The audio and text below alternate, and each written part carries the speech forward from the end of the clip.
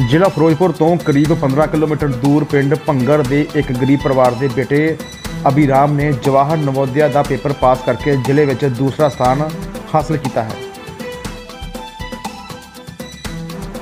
ਅਭਿਰਾਮ ਨੇ ਆਪਣੀ ਸਖਤ ਮਿਹਨਤ, ਸਦਕਾ ਆਪਣੇ ਮਾਤਾ-ਪਿਤਾ ਅਤੇ ਸਕੂਲ ਸਮੇਤ ਆਪਣੇ ਜ਼ਿਲ੍ਹੇ ਦਾ ਨਾਮ ਵੀ ਰੋਸ਼ਨ ਕੀਤਾ ਹੈ। ਸਰਕਾਰੀ ਪ੍ਰਾਇਮਰੀ ਸਕੂਲ ਭਾਂਗੜ ਦਾ ਪੰਜਵੀਂ ਜਮਾਤ ਦਾ ਵਿਦਿਆਰਥੀ ਅਭਿਰਾਮ ਪ੍ਰਵਾਸੀ ਪੰਜਾਬੀ ਬੱਚਾ, ਜਿਸ ਨੇ ਫਿਰੋਜ਼ਪੁਰ ਵਿੱਚ ਦੂਸਰਾ ਸਥਾਨ ਪ੍ਰਾਪਤ ਕੀਤਾ ਹੈ। ਇਸ ਬੱਚੇ ਦੇ ਮਾਤਾ-ਪਿਤਾ ਲੋਕਾਂ ਦੇ ਘਰਾਂ ਵਿੱਚੋਂ ਦਿਹਾੜੀ ਮਜ਼ਦੂਰੀ ਦਾ ਕੰਮ ਕਰਦੇ ਹਨ। ਬੱਚੇ ਨੇ ਘਰ ਦੇ ਕੰਮ ਦੇ ਨਾਲ-ਨਾਲ ਸਕੂਲ ਦੀ ਪੜ੍ਹਾਈ ਵੀ ਬਹੁਤ ਮਿਹਨਤ ਕੀਤੀ ਹੈ ਅਤੇ ਜਵਾਹਰ ਨਵੋਦਿਆ ਦਾ ਪੇਪਰ ਪਾਸ ਕੀਤਾ। ਹੁਣ ਜਵਾਹਰ ਨਵੋਦਿਆ ਵਿੱਚ ਅਭਿਰਾਮ ਦੀ ਪੜ੍ਹਾਈ 6ਵੀਂ ਜਮਾਤ ਤੋਂ ਲੈ ਕੇ 12ਵੀਂ ਕਲਾਸ ਤੱਕ ਫ੍ਰੀ ਹੋਵੇਗੀ।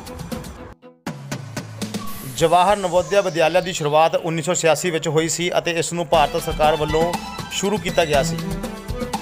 ਇਸ ਵਿੱਚ ਗ੍ਰਾਮੀਣ ਬੱਚਿਆਂ ਨੂੰ ਅੱਗੇ ਲੈ ਕੇ ਆਉਣ ਲਈ ਇੱਕ ਇਹ ਪੇਪਰ ਲਿਆ ਜਾਂਦਾ ਹੈ ਅਤੇ ਪਾਸ ਕਰਨ ਵਾਲੇ ਬੱਚਿਆਂ ਦੀ ਸਹਾਇਤਾ ਕੀਤੀ ਜਾਂਦੀ ਹੈ। ਪੱਤਰਕਾਰ ਸਤਬੀਰ ਬਰਾੜ ਦੀ ਖਾਸ report light of nation news Firozpur. ਕਹਾਂ ਕੇ ਰਹਿਣੇ ਹੋ? ਕਿੱਥੋਂ ਰਹਿਣ ਵਾਲੇ? ਅਸੀਂ ਪਿੰਡ ਭੰਗ ਦੇ ਹਾਂ। ਕੀ ਕਹਿਣਾ ਚਾਹੁੰਦੇ ਹੋ ਤੁਸੀਂ ਜਿਹੜਾ ਫਸਟ ਚ ਆਏ? ਕਿੱਥੇ ਪੜ੍ਹਦੇ ਰਹੇ? ਕਿਸ ਕਿਸ ਤਰ੍ਹਾਂ ਦੇ ਤੁਸੀਂ ਪੜ੍ਹਦੇ ਰਹੇ? ਲਾਕਡਾਊਨ ਦੇ ਵਿੱਚ? ਅਸੀਂ ਹਰ ਰੋਜ਼ ਮਿਹਨਤ ਕਰਦੇ ਰਹੇ। ਪੜ੍ਹਾਈ ਦੇ ਨਾਲ ਆਪਦਾ ਘਰ ਦਾ ਕੰਮ ਵੀ ਕਰਦੇ ਰਹੇ ਤੇ ਸਾਨੂੰ ਟੀਚਰਾਂ ਨੇ ਬਹੁਤ ਮਿਹਨਤ ਕਰਾਈ ਸੀ ਜਦੋਂ ਛੁੱਟੀ ਵਾਲੇ ਦਿਨ ਹੋਰ ਤੁਸੀਂ ਫਸਟ ਆਏ ਕਿਸ ਤਰ੍ਹਾਂ? ਹਾਂਜੀ ਅਸੀਂ ਨੂੰ ਤੇ ਇਹੋ ਜੀ ਖੁਸ਼ੀ ਮਹਿਸੂਸ ਹੋ ਰਹੀ ਹੈ। ਖੁਸ਼ੀ? ਸਾਨੂੰ ਤਾਂ ਬਹੁਤ ਖੁਸ਼ੀ ਹੁੰਦੀ ਹੈ ਜਿਵੇਂ ਕਿ ਮੇਰੇ ਮਾਤਾ ਮਾਤਾ ਪਿਤਾ ਨੂੰ ਹੈ? ਟੀਚਰਾਂ ਨੂੰ ਜਿਵੇਂ ਕਿ ਮਾਤਾ ਪਿਤਾ ਨੂੰ ਬਹੁਤ ਖੁਸ਼ੀ ਹੁੰਦੀ ਹੈ ਸਾਨੂੰ। ਕੀ ਬੰਨਾ ਚਾਹੁੰਦਾ ਤੁਹਾਡੇ ਕੋਲ ਹੁਣ ਅਸੀਂ ਫੌਜੀ ਬਣਨਾ ਹੈ? ਫੌਜੀ ਫੌਜੀ ਬਣਨਾ ਚਾਹੁੰਦੇ ਤੇ ਹੋਰ ਕੀ ਕਹਿਣਾ ਚਾਹੁੰਦੇ ਹੋ ਤੁਸੀਂ ਸਰਕਾਰ ਤੋਂ ਵੀ ਕੋਈ ਅਪੀਲ ਕਰਨਾ ਚਾਹੁੰਦੇ ਹੋ ਕਿ ਮ, ਗਰੀਬ ਪਰਿਵਾਰ ਨੂੰ ਮਦਦ ਕੀਤੀ ਜਾਵੇ ਹੂੰ? ਸਰ- ਸਾਨੂੰ ਅਸੀਂ ਇਹ ਕਹਿਣਾ ਚਾਹੁੰਦੇ ਹਾਂ ਕਿ ਸਾਨੂੰ ਮੈਂ ਅਸੀਂ ਮਿਹਨਤ ਕਰਕੇ ਅਸੀਂ ਫੌਜੀ ਬਣਨਾ ਸਾਨੂੰ ਤੇ ਅਹ, ਘਰ ਚ झारखंड के और यहाँ पे जो आपके बच्चे ने नंबर लेके आया पास आया उसके बारे में आपका क्या कितनी खुशी है आपको हम लोग को बहुत खुशी है क्या कैसे पढ़ा रहे हो? बच्चे को कैसे पढ़ा रहे हो आप? हम लोग को बहुत तकलीफ़ तो पढ़ा रहे हैं गरीब बहुत हैं। कितने दिहाड़ी करके लेके हमने फिर जो आकर पढ़ाई लिखाई कर क्या काम करते हो? हम लोग दिहाड़ी कर रहे हैं। आपके पति क्या करते हैं? वो भी किसी का दिहाड़ी करके लेके उनके पैसे फिर हम लोग रोटी पानी बच्चे को क्या बनाना चाहते हो? कोई बड़े अफसर बन जाए कोई फौज बन जाए। हाँ सत श्रीकाल सर मैं महल सिंह।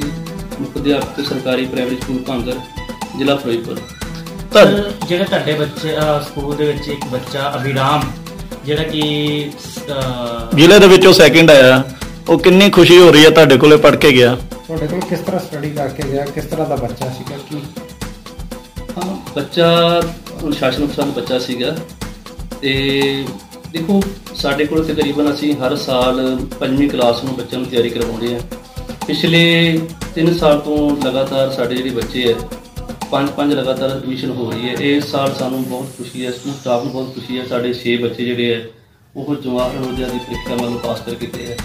ਪਰ ਸਭ ਤੋਂ ਹੋਰ ਵੱਡੀ ਖੁਸ਼ੀ ਹੈ ਪਿੰਡ ਵਾਸੀਆਂ ਵਾਸਤੇ ਵੀ, ਮੰਨ ਲਓ ਕਿ ਪਿੰਡ ਦੀ ਪੰਚਾਇਤ ਵਾਸਤੇ ਇਸ ਬੱਚੇ ਨੇ ਪਿੰਡ ਦਾ ਨਾਮ ਪੂਰੇ ਜ਼ਿਲ੍ਹੇ 'ਚ ਰੋਸ਼ਨ ਕੀਤਾ, ਕਿਉਂਕਿ ਇਸ ਬੱਚੇ ਨੇ ਇਸ ਟੈਸਟ ਵਿੱਚੋਂ ਜ਼ਿਲ੍ਹੇ 'ਚ ਦੂਜਾ ਦੂਜੀ ਪੋਜੀਸ਼ਨ ਹਾਸਲ ਕੀਤੀ ਹੈ। ਸਰ ਟੋਟਲ ਕਿੰਨੇ ਬੱਚੇ ਹੈ ਟੋਟਲ 6 ਬੱਚੇ ਸਿਲੈਕਟ ਹੋਏ ਆ ਜੀ। ਨਹੀਂ ਹੁਣ ਤੱਕ ਕਿੰਨੇ ਬੱਚੇ ਪੜ੍ਹ ਰਹੇ ਤੁਹਾਡੇ ਸਕੂਲ ਦੇ ਨਵੋਦਿਆ ਪਿੰਡ ਚ ਭਾਂਗਰ ਦੇ ਮੰਨ ਲਓ ਮੈਨੂੰ 4 ਸਾਲ ਹੋ ਗਏ ਇਸ ਸਕੂਲ ਵਿੱਚ ਮੰਨ ਲਓ ਮੁਖੀ ਬਣਿਆ ਨੂੰ।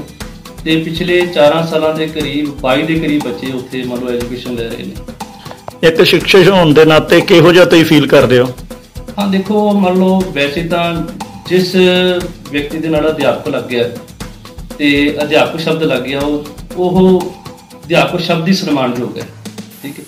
ਤੇ ਜਦੋਂ ਟੀਚਰ ਕੋਈ ਆਪਣੀ ਕਲਾਸ ਨੂੰ ਮਿਹਨਤ ਕਰਵਾਉਂਦਾ ਹੈ ਜਾਂ ਕਿਸੇ ਵੀ ਮੰਨ ਲਓ ਮੁਕਾਮ ਤੇ ਮਿਹਨਤ ਕਰਵਾਉਂਦਾ ਹੈ ਜਦੋਂ ਉਹਦੇ ਨਤੀਜੇ ਨੇ ਬਿਹਤਰ ਆਉਂਦੇ ਆ ਤੇ ਉਹ ਨੇਚਰਲੀ ਗੱਲ ਹੈ ਜੀ ਆਪਣੇ ਸਟਾਫ ਨੂੰ ਪਿੰਡ ਨੂੰ ਤੇ ਖੁਸ਼ੀ ਤਾਂ ਹੋਏਗੀ ਬੱਚਿਆਂ ਨੂੰ ਕੀ ਸੰਦੇਸ਼ ਦੇਣਾ ਚਾਹੁੰਦੇ ਹੋ ਹੋਰ ਬੱਚਿਆਂ ਨੂੰ?